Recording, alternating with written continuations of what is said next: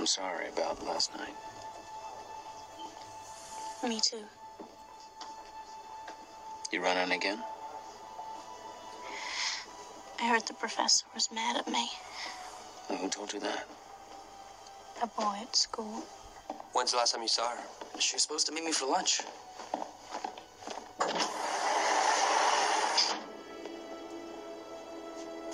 You look around. I'll check with the ticket agent.